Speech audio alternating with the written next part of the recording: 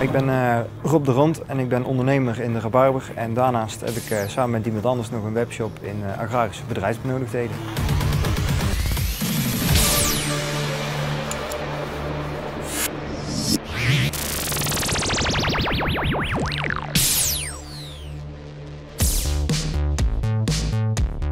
Rabarber is uh, tegenwoordig eigenlijk een vergeten groente in de Nederlandse supermarkt.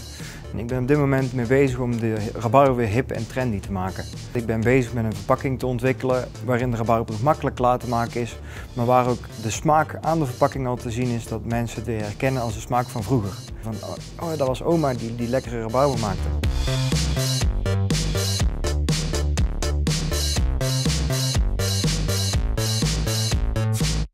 Krijg heel veel vragen van mensen van ik vind het zo lekker rabarber, maar ik kan het nergens krijgen. En dat vind ik wel heel erg jammer. En daar wil ik al proberen een slag in te maken, door het alleen al verkrijgbaar te maken.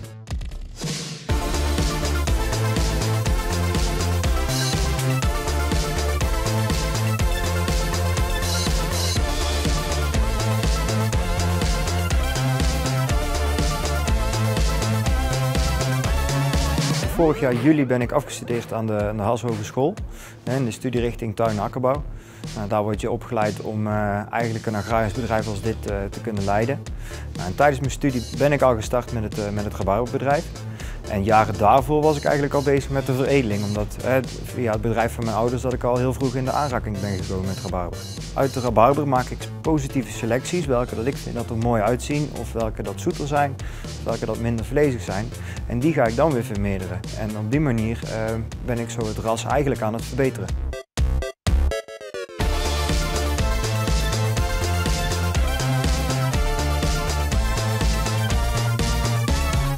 Tegenwoordig eten we steeds minder seizoensgebonden producten en willen we eigenlijk altijd uh, producten beschikbaar hebben. Daar heeft ook het uh, bewaren van de rabarber mee te maken.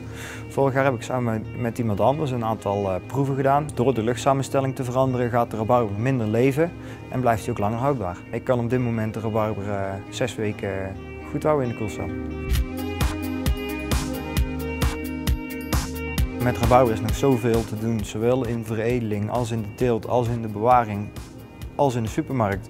En die combinatie dat trekt mijn rabarber enorm aan. Nou, in de toekomst zie ik mezelf als een soort uh, echt een totaalbedrijf, waarbij ik het belangrijk vind om de veredeling te doen binnen mijn eigen bedrijf, de productie en een stukje vermarkting, uh, samen met de afzetorganisatie. om toch te proberen om binnen één bedrijf zoveel mogelijk uh, ketens te hebben lopen. En uh, ja, de combinatie tussen consument en agrarisch ondernemer. Die schakel wil ik, uh, die schakel wil ik maken. Dat is vrij uniek in de markt. Nou, mijn favoriete rabarberrecepten, dat is toch echt ja, de kompot die oma vroeger zelf, uh, zelf maakte. En daar ben ik natuurlijk ook mee, mee opgegroeid. En ja, daarnaast natuurlijk de, de rabarbertaart die ik altijd met mijn verjaardag, altijd met mijn verjaardag krijg.